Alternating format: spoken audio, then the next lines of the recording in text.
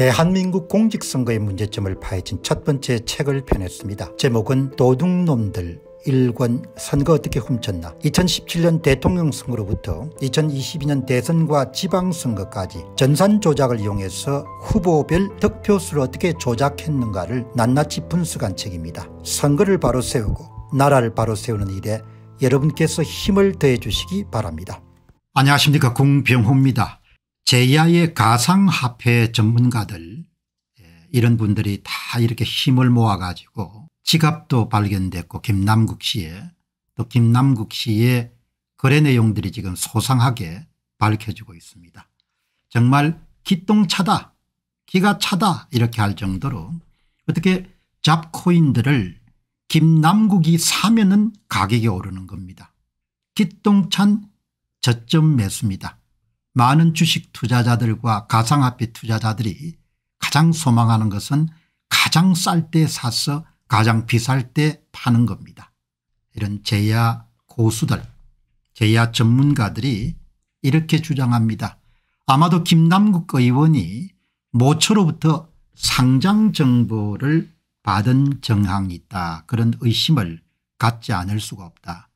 이 업계 전문가들 같으면 오랫동안 그런 거래를 본인도 해봤고 또 공부를 해왔기 때문에 감이 있지 않습니까 그러니까 김남국 의원의 그런 거래를 이런 다 분석해 보니까 그 냄새를 맡은 겁니다.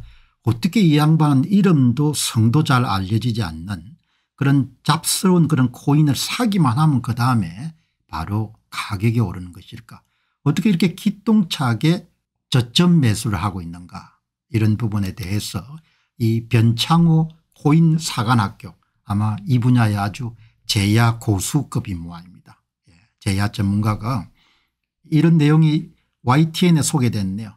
김남국의 메콩코인 4억 투자 메콩코인을 발행한 회사조차도 내부자 정보를 취득했을 가능성이 있다. 메콩코인 발행사 관계자 메타콩제 NFT를 안 사고 코인만 갖고 있다는 게 되게 이상한 겁니다.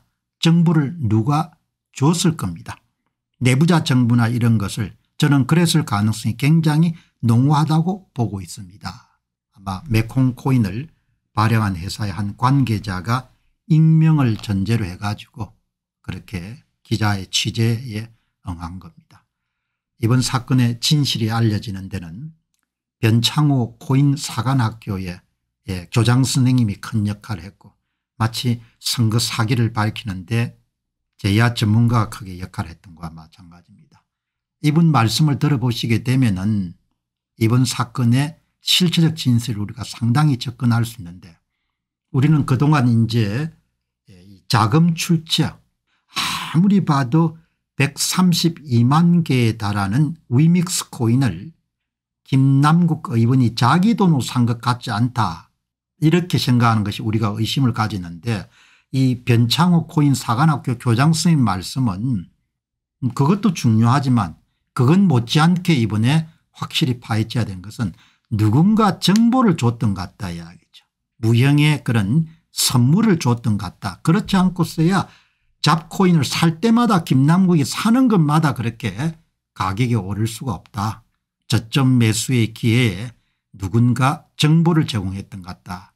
이 부분을 대한민국 검찰이 명예를 걸고 밝혀내야 될 것이다 이렇게 봅니다. 변창호의 이 전문가는 김남국이 코인의 상장 정보를 모처로부터 받은 정황을 의심하게 된다 이런 내용이 5월 15일 날 여러분들 보도가 됐습니다. 아주 중요한 내용입니다. 이 변창호 코인사관학교 운영자는 김남국 더불어민주당 의원의 코인 거래를 분석한 다음에 얻은 결론이 바로 누군가 내부 정보를 제공했던 것 같다 이런 내용입니다. 그 근거는 이름이 잘 알려지지 않은 잡코인을 김남국이 매수할 때마다 그것이 거의 저점에 가까운 데서 매수했는데 그것이 한 건이 아니고 여러 건이다 이거죠. 그 변창호 씨는 이번 그 코인 스캔들의 핵심을 상장 정보로 꼽습니다. 우리는 그동안 자금 출처에 초점을 맞췄는데 새로운 각도로 보는 겁니다. 고인 전문가는 김남국 의원의 거래 패턴에서 이른바 펌핑 정보인 상장 정보를 알고 움직인 정황이 포착됐기 때문이다. 이거는 이제 전문가들만 알 수 있는 거죠. 저희들은 이제 참 알기가 힘든 건데 이 변창호 전문가의 의견을 들어보게 되면은 이 소위 자금 출처도 중요하지만 그 못지않게 중요한 것이 바로 상장 정보를 누군가 제공했다는 겁니다. 특히 해당 정보를 제공한 주체가 코인 업체일 확률이 크다는 점에서 정치계와 코인 업체 간의 유착관계를 의심한다. 업자들은 충분히 그럴 수 있죠. 코인 업계 사람들은 뇌물을 써가지고 자신들에게 유리한 그런 입법을 통과시키기 위해서 전방위 로비를 할 수 있을 겁니다. 김남국뿐만 아니고 김남국이 잘생겼으면 뭡니까 김남국에게만 로비했겠습니까 지금 변창호 씨 이야기처럼 로비를 했다라면 김남국뿐만이 아닐 거다는 이야기입니다. 그런데 이 변창호 씨의 주장은 지갑을 발견해 가지고 거래 내역을 분석해 보니까 거래 패턴이 정보를 주지 않고서는 일어날 수 없고 그 정보를 주는 주체가 아마도 게임 업체일 것이다 이렇게 추론을 하는 겁니다. 김남국 코인 스캔들의 본질은 정치인과 코인 업체 간의 유착입니다. 최근 클립을 통해 굵직한 자금 흐름을 모두 분석한 결과 외부 자금을 코인 형태로 받은 것이 아니라 내부자가 제공한 상장 정보를 활용해 선취매 했을 가능성이 매우 커 보입니다.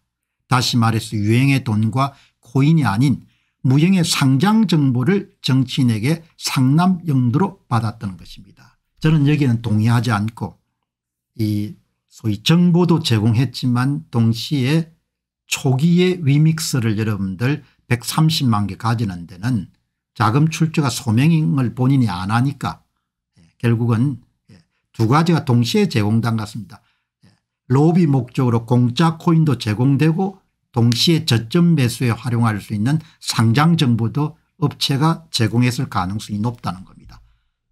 확정된 사실은 아니고 검찰 수사가 주력해야 될 것은 예, 위믹스 코인을 매입한 그런 소위 자금 출처와 동시에 위믹스를 팔아가지고 잡코인에 투자할 때 그 잡코인이 예, 매수 시점을 볼 때는 업체가 제공한 상장 정보가 있을 것이다. 그 두 가지를 동시에 밝혀야 된다는 것이죠. 이 이런 추정은 김남국 의원의 매수 시기가 뒷받침하고 있다고 변창호 전문가는 강조한다. 김남국 의원이 자꾸 고점에 팔지 못했다는 매도 시점을 강조하며 미공개 정보 의혹을 부인하지만 사실 중요한 것은 매수 시점입니다. market maker 등 시세 조종 세력들이 정해둔 매도 시점은 깨질 때가 많습니다. 따라서 저점인 매수 시기에 들어갔는지가 더욱 중요한 정황입니다. 아주 중요한 내용입니다. 거래 패턴을 분석해 보니까 저점에 뛰어들 수 있는 몇 개의 잡코인에 저점에 뛰어들 수 있던 것은 누군가 도움을 줬다는 겁니다. 검찰 수사 들어가게 되면 은 업계 관련자들 불지 않을 수가 없는 겁니다. 그래서 조금 여러분들 예, 좀 과격한 표현이지만 인생을 종쳤다 이런 표현을 쓰는 겁니다.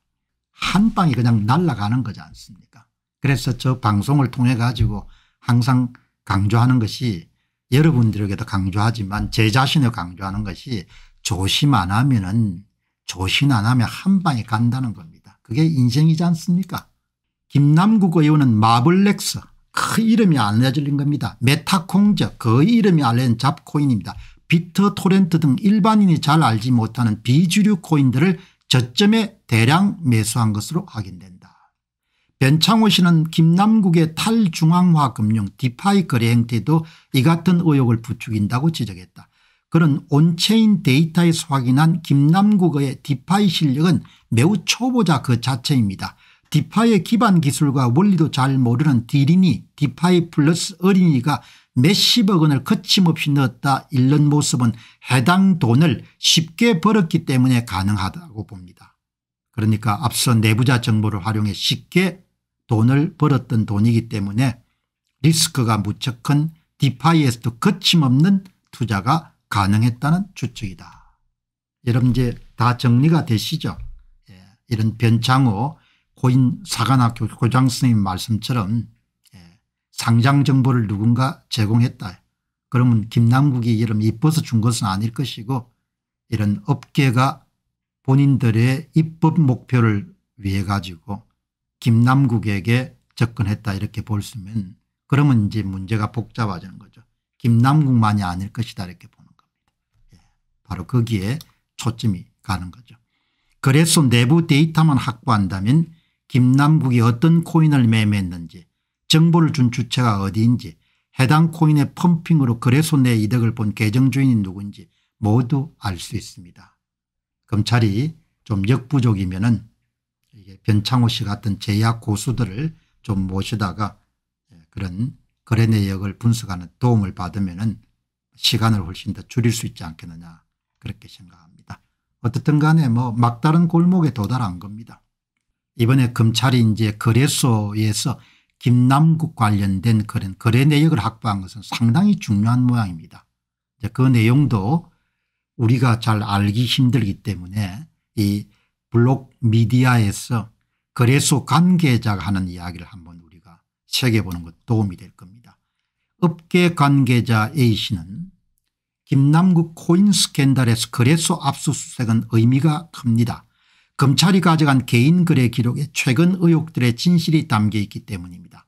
많은 의문을 낳았던 자금 출처 의혹이 우선 풀릴 겁니다. 공짜로 누가 코인을 100만 개 이상 정도 줬다 이렇게 의심하는 거지 않습니까 그건 의혹이지만 검찰 수사에서 확정돼야 사실이 되는 거죠.